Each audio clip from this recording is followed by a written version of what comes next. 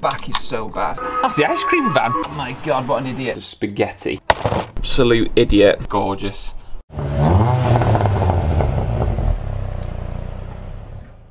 Hello everyone, Andy here and welcome back to the channel. I am happy to do another mod video on the car and this time it's this awesomely painted rocker cover or valve cover from MK Customs which has been beautifully painted in Subaru gold and this is massively going to enhance the look of the engine bay.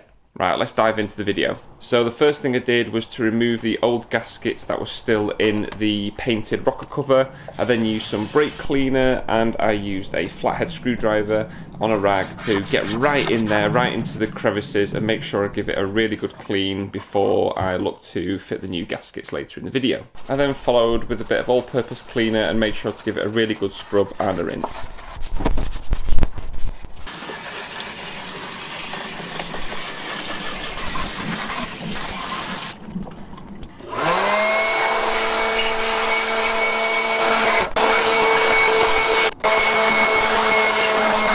Right, now let's get on with removing the old cover. Just to all remember what it looked like beforehand with the plain black rocker cover and hopefully I can get rid of these. Uh, there's another one back there and I might actually even be able to get rid of that as well just to neaten up the look of it.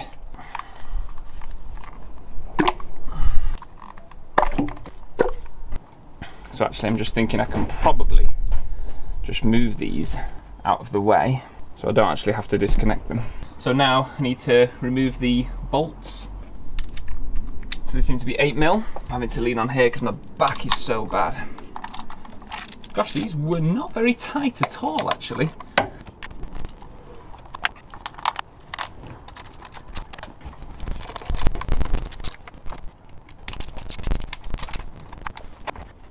So those were all 8 mil. now this one in the back corner seems to be a 10. This one's 10.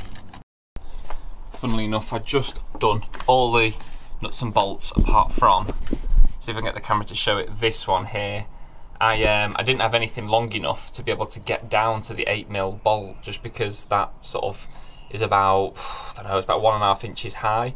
So luckily I had to, um, or not luckily, but annoyingly, I had to then tighten up all the bolts again and then I went down to my local garage and they actually did it for me because I went to a builder's merchant to go and get priced up for one of them and an adapter and it came out something like 25 26 quid. Said I'm not going to pay that much just to undo one bolt. So I ran down to the garage in New Mills and uh, yeah thankfully uh, and really appreciate they just literally undid it for me. Right so I've done the majority of them. I've just got this one left for the sensor and this one here.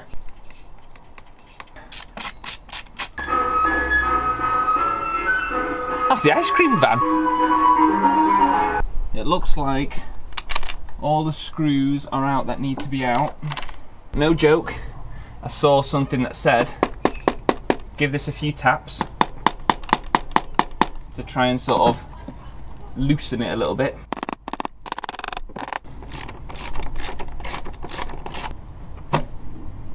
So now the plan is to try and get some leverage. And oh, oh, I can feel it moving. Let's go a bit further back here. Oh, I've still got a bolt at the back. Oh my God, what an idiot.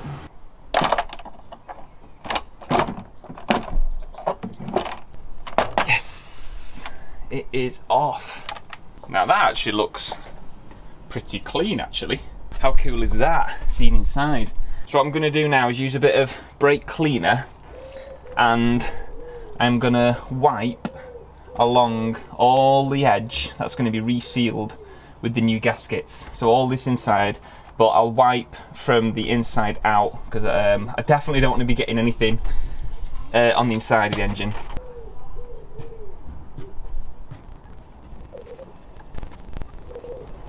To show you that's what the edge of it looks like there. But then as you can see over to the right where I've been cleaning it that's all looking quite nice now. But over here again that side I'm yet to do. And two little areas that I know um, when I was looking up on replacing gaskets it says you need to make sure you clean that. So I'm going to put a rag behind it and get that off. And then the same on this side here. You got to make sure that you um, scrape that little bit of old sealant off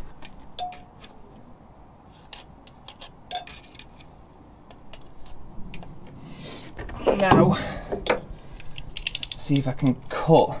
Might have to snap the blade one of the blades off and try and do it. Basically if you can see that my hand there. I'm going to do the same over here. Just tuck that in there. Again. If I just show you my hand that's what the extra bit of sealant looks like. So that looks clean. Again I'll just wipe that now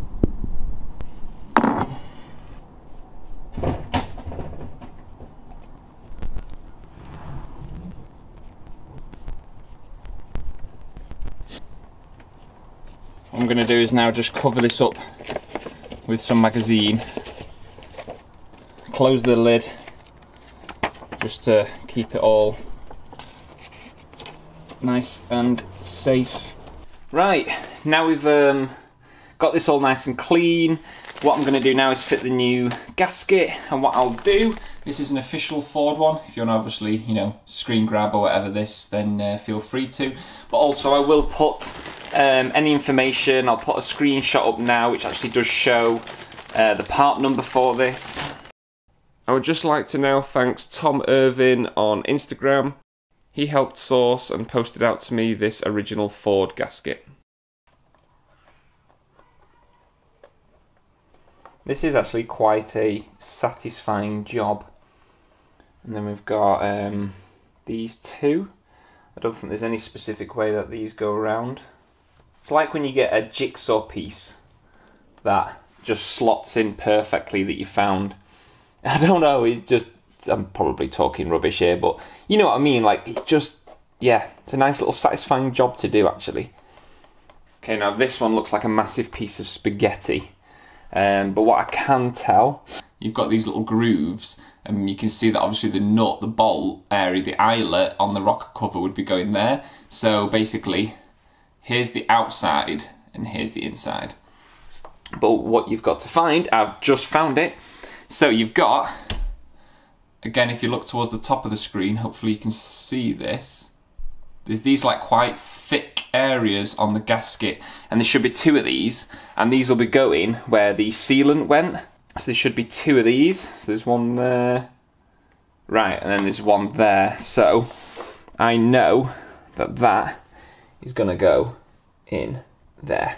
And that's it, just start feeding it all the way around.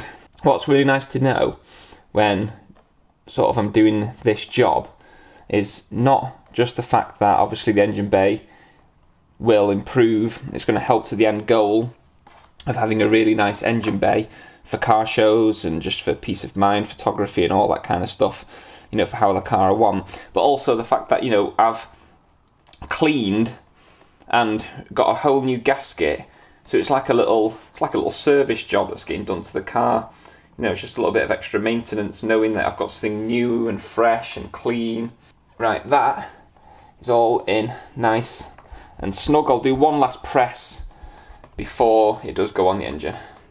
And before it does go back on the car, what I was going to do is I'm just going to use a bit of this ADBL um, ceramic sort of spray just give it a little bit of protection with what I've got left in this bottle. Just I'm gonna saturate the thing. Should just give it a bit of protection, keep the dirt off for a while. Whilst I'm buffing this, which has been beautifully painted by MK Customs, link to them below. You'll know if you've been following my channel. I have a big love for his work. I think it's really good quality, does nice custom stuff. So definitely go and check him out. But something that I forgot to mention towards the beginning of the video, and I'm going to have to show sort of now, is I actually did have a go at trying to paint one myself. So I bought a rocker cover back when I did the brake calipers, believe it or not, which was a hell of a long time ago. As a DIY attempt, it started off by coming out alright, but then the issue I had was the place that I left it after I'd done the 2K lacquer. Loads of bits of crap and flaws had come out afterwards. So basically, I got loads of shit in the paint, in the lacquer, and yeah, it, it didn't look the best. So, you know, I, I wasted loads of money. At the time, I was just like, nah, I'm not spending more money and doing it again or sanding it all down and all that kind of stuff. And eventually, yeah, I got back in contact with MK Customs, um, who has now been able to sort me out with this. Just look at the finish on that before it goes on the car.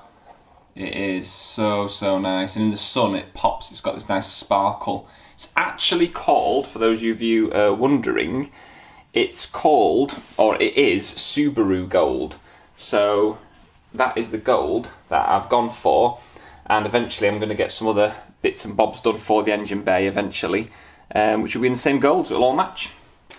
So the plan is, I went ahead um, and bought all these new bolts these are Allen key sort of ones, and I've got some nice washers as well from CE UK. So, I will put in the description, just to make sure I get it right, the types of bolts that you do need. And these extended ones will be going for, if you can see, you've got areas like this. So some of them are smaller, and some of them are bigger. And then I think these ones are 35mm, and then one tiny little one, which I think might well go in there. But what I want to try and do is wouldn't mind just doing a little test fit. Now, you might have noticed that there is a ring missing. I'm going to take it from my existing one.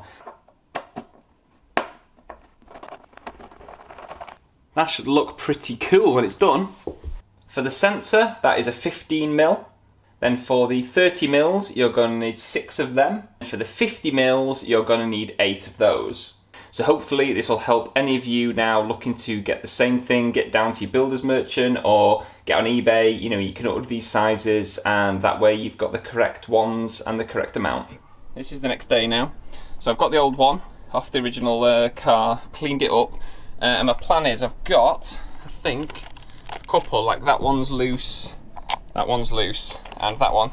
The rest of them are all nice and tight. It's just because these ones don't have, you can see, these little metal rings. I am going to look at getting something and just giving them, giving them a hammer and see if I can get the little rings out and then try and see if I can press them into the new one. I think the best way is to go from the underside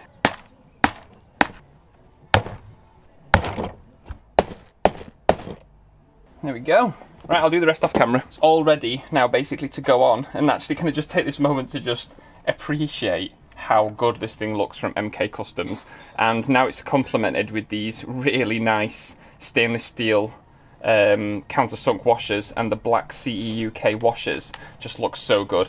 I've also now attached on the little oil breather hose. I've just threaded all the screws through like a few, less than five mil, just a few mil. So next what I'm going to do is apply a little bit of this. Hopefully the camera picks it up. There's only two little spots that I've read that you just need to make sure you get it on. Just there. And then again here. Right. Actually, one thing before I do fit it is I just wanted to get rid of this ugly thing at the back. It's 13 mil. That's a big old bolt. But yeah, don't actually need that. Just makes it look a bit cleaner.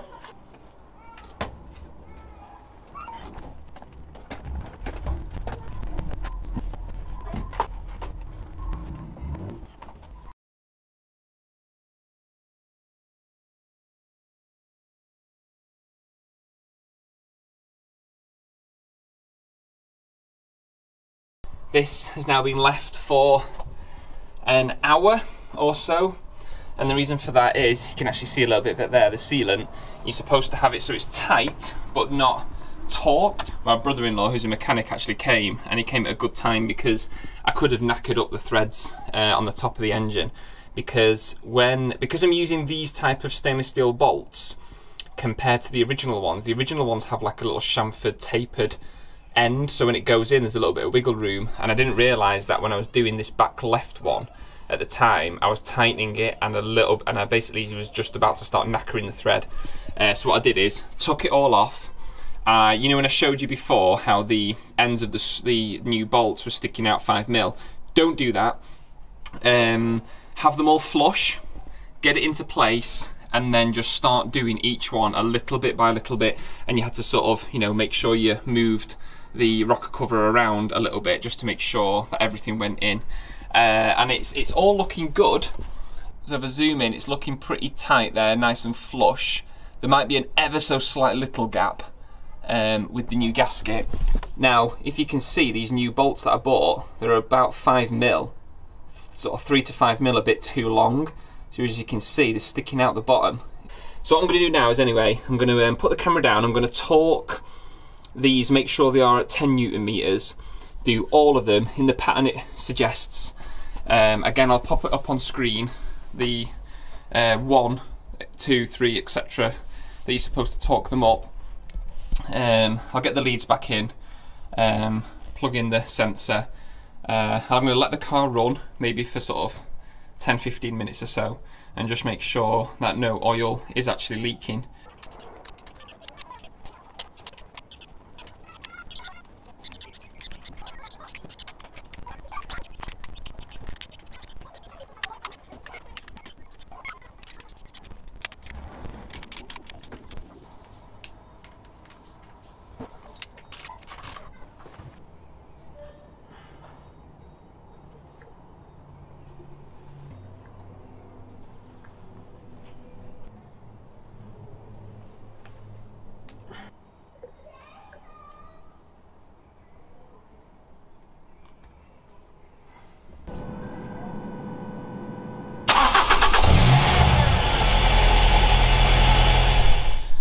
Just before I was going to end the video and do a summary, everyone, I was a right idiot. And I think, as you can see here, uh, basically it's happened in a few places, but when I was tightening up with the uh, torque wrench, I kept tightening and tightening and tightening, and it never clicked. And to be honest, I think the reason is, is I over tightened them, uh, didn't have it set correctly, like an absolute idiot, and I squashed the basically the paint there are some areas which that one's come off all right. I think that one's all right. That one had done the same and actually slightly cracked the paint, as you can see there. The ones at the back just slightly cracked the paint. A couple have come off, not too bad. But yeah, basically, I was an absolute idiot. Again, you can see that one. So what I've had to do is I've put a bit of lacquer, I've just done a little bit of clear lacquer and I've left a few of these off, like that one, uh, that one at the front, and that one. So I'm just going to let the clear lacquer dry before retighten these. And you know what I'm going to do? I'm just going to hand tighten them. And I think that's going to be enough because it's supposed to only be 10 newton meters. And like an idiot, I reckon I've done between 20 and 30. So I really apologise to MK Customs for the fact that damaged is extremely nice work that he's done on this but um, I did speak to him. Um, he's saying it'll be all right. It shouldn't sort of split further than where I've um, damaged it. But you know, on the face of it, you won't really see this. It's just me. You know, no one's going to get in there like this and have a look at where the washers are right at the back and right at the back of the engine there and notice that. You know, the the best thing about this is the actual, you know, finish. When you look at it from this, it's absolutely gorgeous. So it's in, all tightened up and I am I am really really happy. I am so happy with the uh, outcome of this and the job that MK Customs, Mark MK Customs has done for me. It, um, it's something that I wanted to get done on the car for such a long time, and as I did say, I think I showed at the beginning of the video. Um, that you know I did try and paint one of these myself at the very beginning, but it just didn't quite turn out. So, you know, um, MK Customs by now I've used him a few times on the car and absolutely love his work. Now, the match is actually not too bad against some of the other gold, but if you can see, the old gold I used is slightly more orangey, but ignore that because the thing is, I'm going to be getting the Paintmodz caps. So that cap, that cap, that one, it's like a cover actually, the dipstick, uh, and the washer as well, they're all going to get done in that same gold at some point.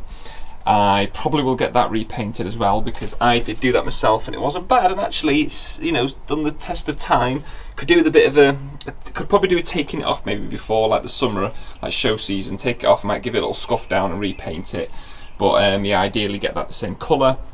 Now the strut brace is also gold, and as a whole, I do love it. But my plan is, as you know, I've got the Fusion Fabrications inlet. I was thinking I might get that painted either on its own or along with the strut brace. Not sure yet, but in the new colour that the car is going to be going in. As you know, when I did say, or I think you've seen on my Instagram posts and whatnot, I am keeping the gold. I'm not getting rid of the gold completely because I have got the fogs and I've got the calipers as well but um, with this new gold under the engine bay I want that to be complemented by just the caps possibly the throttle body but yeah the new inlet and I think the strut brace just to sort of tie in a bit of the external paint colour to the intern uh, into the engine bay I think will just be a nice touch but yeah what do you think I absolutely love it and it to be so nice and clean and I know I've given it a bit of protection as well is awesome yes as I did show if I zoom the camera in you know, I know it's probably not the best, but I'm just being totally honest. There's a couple of little flaws, like on that one. Uh, this front corner one here, there's a little bit, and sort of down down the side at the back. Camera's not quite focusing, but yeah. Apart from that, it is perfect. Absolutely love it. And also, what I think is now looking really smart with the engine bays is by this being painted, but by the fact that I did the wire tuck massively helps because I think if you didn't do the wire tuck and you did your rocker cover, it would just like it would just wouldn't make sense. It would just wouldn't look good because it looks so messy. But by having the nice engine, like kind of rectangular, just full block of colour, with the exposed leads, I think looks so nice. And having the new washers, these nice new washers with the stainless steel bolts, you know, it's just such a nice little touch. They're actually in there as well, if you can see, and the one in there, and obviously all around the back as well. You get a little glimpse there of the heat wrap manifold. Not a lot of the uh, videos that I show actually show that, but yeah, it is. And um, yeah, you know, once I've got the new inlet as well, it'll have a much cleaner look than the standard inlet. But yeah, if you want to look at um, doing the wire tuck, um, the way I've done it, where you don't have to jack the car up or anything. And if I can do it, anyone can do it. Um, I'll pop a link into the top right description right now, and you can go ahead and watch that wire tuck. Get yourself a few hours, give yourself a, a good afternoon, I'd say. Um, and it's got everything in there, everything you need to buy. And as I said, you don't have to jack the car up or anything like that with the way I did it. And um, I think it looks smart with um, having all the wires tucked away uh, neatly. So like when you stand back now, that engine bay is starting to look mint. I absolutely love it. It is so nice. I feel like now I can lift the bonnet up, be a bit more proud, um, you know, I've got something there that's, you know, quite unique. Obviously, quite a lot of people do do it, but the majority obviously don't. So I think having something like the painted rocker cover or valve cover, whatever you want to call it, is just a really nice touch and something that I think show cars sort of need is a really nice engine bay. I have obviously, as you can probably tell, everything's had a really nice clean. So yeah, it's properly smart. A lot of Instagram pictures are probably going to be going your way, MK Customs. And um, yeah, if you're interested, then um, you know get in touch with him ask him uh, for a price maybe on what you're looking to have done whether or not you're able to send him one of these or maybe he'll have to source one. Obviously that's going to depend the uh, that's going to obviously reflect in the price. But yeah you know as you can see just look at the quality of his work. Just look at it. It is so shiny and glossy. It is so so nice. Just look at that. It is so so so good absolutely love it. So big thanks again for uh, getting me one of these uh, painted. Absolutely love it. So now, can't wait Mark, I'm sure you'll watch this video to get the caps done and the dipstick uh, and that washer one done next because I think that'll just complement so much more nicely now with the new gold colour. So I'll leave the video there everyone. Hope you uh, give me a thumbs up if you like the fact that I did actually fit this myself and you know I've got all the bits and bobs uh, in the description for the you know the washers, the bolts, the head gasket that you need in order to do this. Otherwise, it's just a few tools. Um, oh, and the sealant as well. So I'll put a link into the description for everything that you need. So basically, you can use this as a tutorial and uh, get it done yourself. So thanks all for watching. See you in the next video. Bye.